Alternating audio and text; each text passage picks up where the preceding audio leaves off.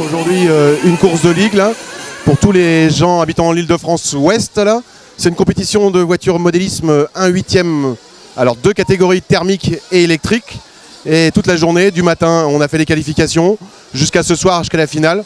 Tous les pilotes se défendent pour aller gagner des points, pour euh, aller se qualifier pour le championnat de France. On a 72 participants et euh, l'idée c'est que les 20 meilleurs vont être qualifiés pour aller en Coupe de France.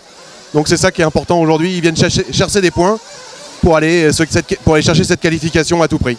D'où les batailles acharnées qu'on peut voir euh, sur la piste. Euh,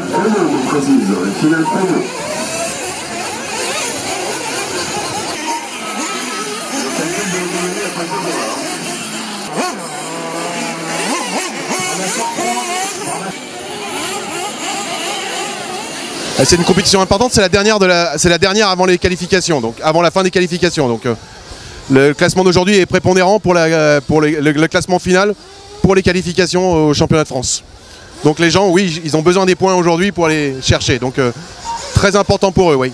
On est plutôt content. Ce matin on est arrivé, euh, la piste était très boueuse, donc les premières courses du matin, elles étaient un peu, on emportait beaucoup de terre, mais l'ambiance est bonne et les gens sont contents d'être là. C'est ce qui nous intéresse le plus fortement. Comme ça, ils reviendront l'année prochaine et ce sera pour nous toujours une réussite. Peace.